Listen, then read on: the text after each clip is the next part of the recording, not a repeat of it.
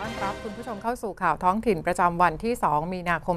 2560 ค่ะ วันนี้นะคะ เช่นเคยค่ะ มีข่าวในพื้นที่ 9 จังหวัดภาคเหนือตอนล่างมากมายนะคะ รวมไปถึงข่าวทั่วประเทศในช่วงของข่าวรอบทิศ แต่ในช่วงนี้ค่ะ ช่วงแรกนะคะ ข่าวแรกไปติดตามกันที่จังหวัดพิษณุโลกกันก่อนค่ะ ประธานกรรมการมูลนิธิโรงพยาบาลสมเด็จพยุพราชติดตามผลการดำเนินงานของโรงพยาบาลสมเด็จพยุพราชนครไทย จังหวัดพิษณุโลก ซึ่งเป็นโรงพยาบาลชุมชนแห่งแรกของกระทรวงสาธารณสุข ที่ได้รับมาตรฐานนานาชาติ หรือ JCI ค่ะ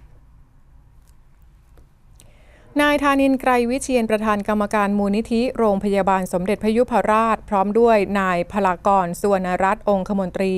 เดินทางไปที่โรงพยาบาลสมเด็จพยุพราชนครไทยอำเภอนครไทยจังหวัดพิษณุโลก ในการตรวจเยี่ยมการดำเนินงานโรงพยาบาลสมเด็จพยุพราชนครไทย ประจำปี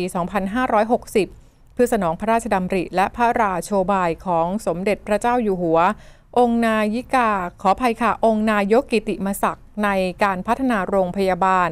ทั้งนี้ในปีที่ผ่านมาโรงพยาบาล สมเด็จพยุพราชนครไทย เปิดให้บริการประชาชนในเขตอำเภอนครไทย ตั้งแต่วันที่ 23 มีนาคม 2522 ปัจจุบันเป็นโรงพยาบาลขนาด 90 เตียง มีผู้ป่วยไปรับการรักษาเฉลี่ยวันละ 580 คน ทั้งนี้ที่ผ่านมาโรงพยาบาลได้ดำเนินการพัฒนาระบบคุณภาพบริการ ให้สามารถบริการประชาชนได้อย่างครอบคลุม ทั้งด้านส่งเสริมสุขภาพ การป้องกันโรค การรักษาพยาบาลและการฟื้นฟูสุขภาพ โดยเฉพาะการนำกระบวนการจินตศึกษา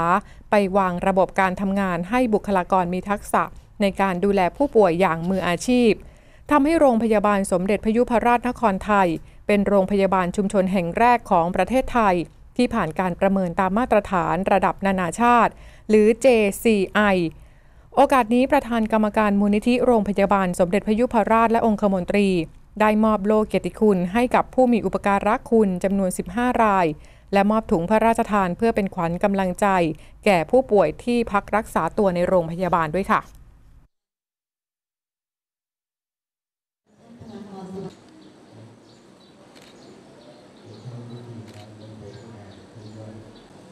เอดีเป็นสิ่งสำคัญ